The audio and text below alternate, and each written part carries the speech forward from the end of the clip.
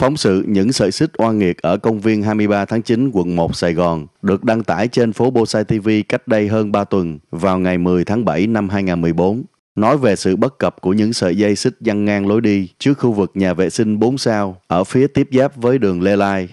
Những sợi dây xích này nhằm ngăn cản không cho xe cộ vào trong khu vực công viên vốn chỉ dành cho người đi bộ. Tuy nhiên với cách thiết kế không thích hợp, những sợi dây xích đó vô tình lại trở thành những chiếc bẫy khó nhận thấy và đã gây ra nhiều tai nạn té ngã hàng ngày tại khu vực này. We were walking back to our hotel and we were walking along this pathway here and she didn't see the chain and she fell and she really hurt her knees and her legs and her, her hands. And it's a very upset her. It's upset her a lot, yeah.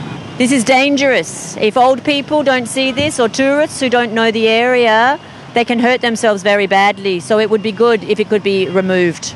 Vãng đây à, mười mấy năm rồi đi con đường này thì thấy ờ, uh, chiều uh, có khi ra tập thể dục mà thấy có người người, người tập thể dục cũng bị sơ sức té như vậy. Thành thử không biết mà nói chuyện với ai hôm nay gặp cậu ấy. Ngang qua cũng kể câu chuyện cho cậu nghe như vậy.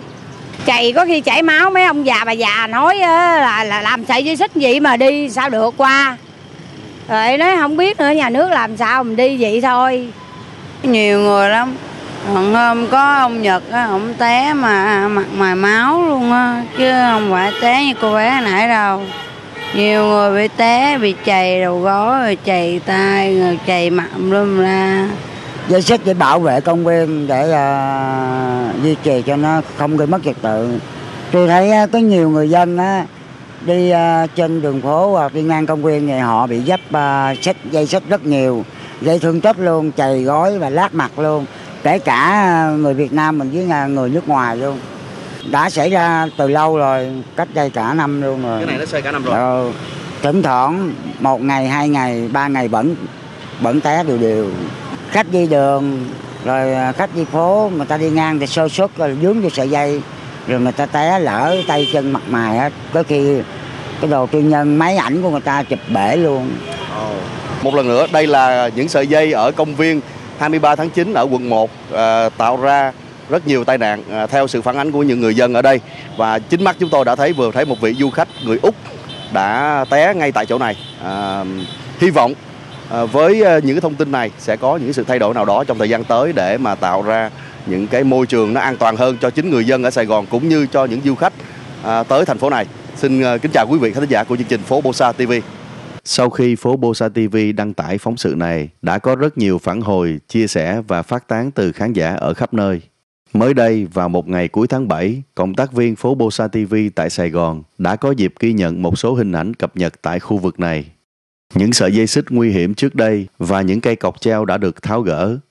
Thay vào đó là một hệ thống rào cản mới được dựng lên một cách chắc chắn, vững chãi Hệ thống này làm bằng những ống sắt trơn chu với những khoảng trống vừa đủ cho người đi bộ qua lại mà vẫn giữ được tác dụng ngăn không cho các loại xe chạy vào trong công viên. Đặc biệt, có cả những khoảng trống lớn hơn, thiết kế bằng những trụ cắm lệch nhau để những người đi bộ có thân hình to lớn hơn vẫn có thể đi qua lại mà không cần phải vòng xuống lề đường, vốn không an toàn vì thường có đông đúc xe cộ qua lại.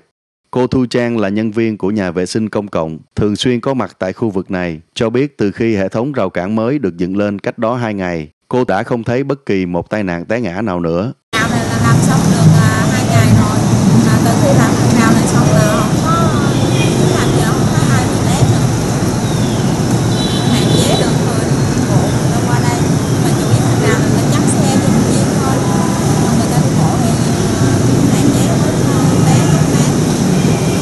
Có thể cơ quan quản lý công viên 23 tháng 9 đã có dịp nghe phản hồi từ phóng sự về những sợi dây xích oan nghiệt trên chương trình phố Bosa TV. Nhưng cũng có thể kế hoạch sửa chữa của công viên đã có từ trước mà phóng sự trên phố Bosa TV đơn thuần chỉ là một sự trùng hợp về mặt thời gian. Tuy nhiên, dù với bất cứ lý do gì, một điều chắc chắn là kể từ nay, người dân ở khu vực này sẽ không còn phải chứng kiến những tai nạn té ngã bất ngờ, đau đớn như trước kia và những người khách bộ hành vô tư hàng ngày qua lại sẽ có được một ngày an lành hơn, trọn vẹn hơn khi không còn nguy cơ té ngã rình rập từng bước chân của họ ở nơi này. Và đó cũng chính là một điểm son dành cho những cấp quản lý của công viên 23 tháng 9 quận 1 Sài Gòn.